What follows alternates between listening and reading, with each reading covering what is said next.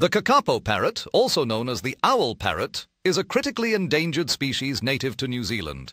The Philippine eagle, also known as the monkey-eating eagle, is one of the largest and most powerful eagles in the world. The Spix's macaw, also known as the little blue macaw, is a species that is considered extinct in the wild, with only a few individuals left in captivity. The California condor is a majestic bird with a wingspan of up to three meters, once on the brink of extinction but now making a slow recovery. The northern bald ibis is a critically endangered bird with a unique bald head and long curved beak native to Europe, Africa, and the Middle East. The Madagascar pochard is a rare diving duck species, with only a few individuals left in the wild due to habitat destruction and hunting. The Bermuda petrel, also known as the cahow, is a critically endangered seabird that nests in underground burrows on rocky islands.